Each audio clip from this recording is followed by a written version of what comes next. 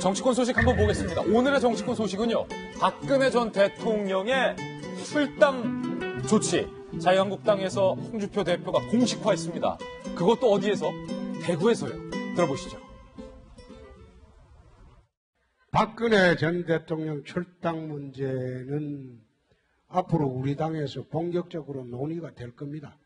그것은 정치적 책임의 문제이기 때문에 거기에 우리가 간과하고 넘어갈 수가 없습니다. 정치인이라면 자기가 잘못한 데 대한 책임을 질 수밖에 없습니다. 그 책임을 안 진다면 무책임한 정치가 되죠. 그래서 그것은 지금 논의되는 게 아니라 앞으로 당의 중지를 모을 겁니다. 김건욱 전 부장님.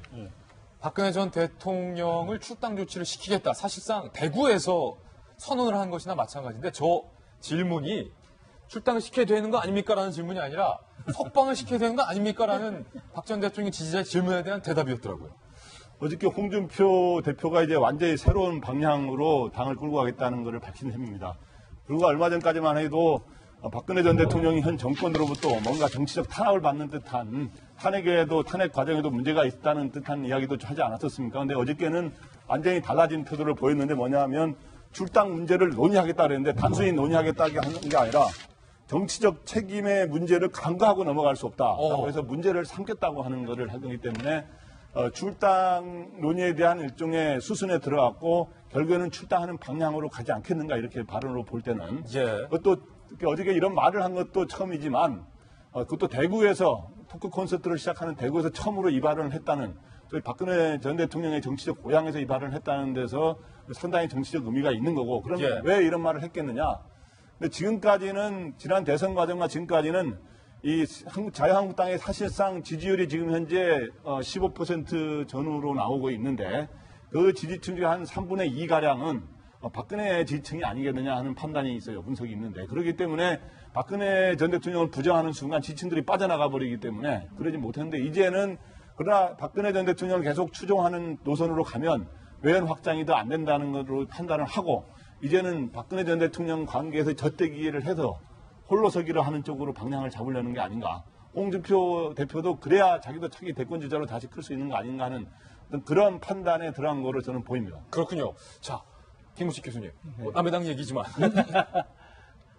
제가 볼 때는요, 그 홍준표 대표가 이제 혁신위원회 활동도 거의 이제 마감이 되고, 그 다음에 이제 본격적으로 문재인 정부에 대한 야당으로서의 선명한 각을 세워야 된다고 생각하지 않겠습니까? 특히 어제, 엊그제 8.15 경축사 있을 때 문재인 대통령 만났을 때 그 표정을 보셨잖아요. 굉장히 어색한 표정일 수밖에 없어요. 그러니까 지금 문재인 정부는 굉장히 고공행진의 지지도를 계속 유지하고 있고 자유한국당 제1야당이지만 존재감 없이 계속 있기 때문에 미래를 생각해 본다고 한다면 내년 6월에 지방선거라든지 아니면 그 다음 총선과 대선까지 생각해 본다면 자유한국당이라는 제1야당의 대표로서 어떤 방향을 가는 예. 것이 그나마 존재감을 살리고 다음에 정권 탈환의 가능성이라도 그나마 열 수 있을까 생각해 본다면 아 박근혜와의 선긋기는 한번 해야 되겠다라는 생각을 한 것 같고요. 예. 그것도 아주 작정을 하고 대구에 가서 북한의 아니 한국의 보수의 상징이라고 할 수 있는 그다음에 박근혜 대통령에 대한 가장 애정 어린 고향이라고 할 수 있는 대구에 가서 저런 모진말을 했다는 것은 홍준표 대표가 앞으로는 정말 제1야당 대표로서 박근혜의 유산은 결별하겠다는 생각을 가진 것 같습니다. 그러나 그것이 저는 한마디 좀 덧붙이면 정치인은 결과에 대해 정치적 책임을 져야 된다고 생각을 한다고 말을 했는데 홍준표 대표도 과연 정치적 책임을 졌는가 한 번도 저도 물어보고 싶은 생각이 있습니다. 예. 아니, 그러면, 김병현 박사님. 네. 아직 자유한국당 내에는 박근혜 전 대통령의 탄핵은 상당, 상당히 정치적인 탄압이다. 부적절하다. 그리고 박 전 대통령은 명백한 무죄다. 뭐 석방해야 된다라고 주장하는 친박 의원들 많잖아요. 뭐 윤상현 의원도 그렇고 최경환 의원도 그렇고 상당수 많은 친박 의원들이 어, 자유한국당 내에 주류로 아직까지 있는 것으로 저는 알고 있는데 박 전 대통령이 출당되면 나머지 그 친박 의원들은 어떻게 되는 겁니까? 인적 청산에 사실은 드라이브 시동을 걸었다 이렇게 볼 수 있는 것 같고요.